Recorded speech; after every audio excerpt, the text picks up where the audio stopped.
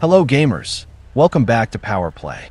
If you use emulators on Android, you've definitely heard of GameHub, that one launcher that organizes all your emulated games in one clean interface. But today there's something new, and honestly, it might be better. The developer behind GameHub just dropped a new version called GameHub Lite, and this one's got people talking, not because of fancy features, but because of what it doesn't have. Let me explain. A few weeks ago, the developer posted on Reddit exposing GameHub's hidden issue unethical data collection. The old app was loaded with tracking SDKs, random permissions, and telemetry pinging data to overseas servers. Instead of just complaining about it, they decided to fix it themselves. That's how GameHub Lite was born a cleaner, lighter, and completely privacy focused version of the launcher. No tracking, no permissions you don't need. No camera, no mic, no location access. Just a fast, offline launcher for all your emulator games. The original GameHub was around 115 megabytes, but Lite? Just 47 megabytes. That's less than half the size, and it loads almost instantly. Go to the official GitHub page for GameHub Lite. You'll find four APKs available.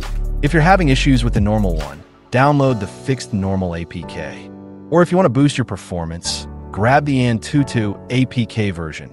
It's optimized for smoother gameplay. Note this, it might make your device run a little hotter during gameplay, so keep an eye on the temperature if you're gaming for long sessions.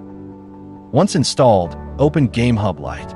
You'll see a clean, minimal interface, no sign-ins, no permissions, no distractions. Simply tap the import button to add your PC games. Locate your game folders and select the titles you want. Once you do that, GameHub Lite will automatically download any necessary files required for your games to run. You can also download those files manually.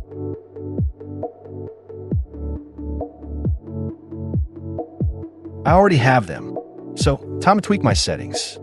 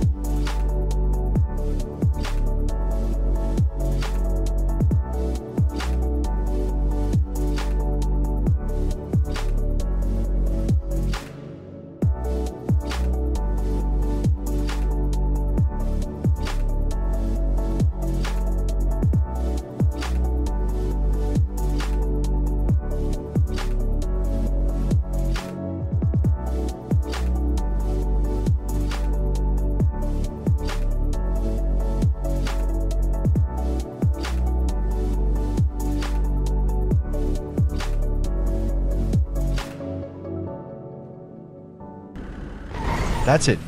That's your complete guide to installing and getting started with GameHub Lite. I hope this helps you skip the errors and get straight to gaming. If this video helped you out, hit that like button and subscribe for more emulator slash launcher tutorials. Drop a comment below if you run into any issues. I'll try to help. See you in the next one.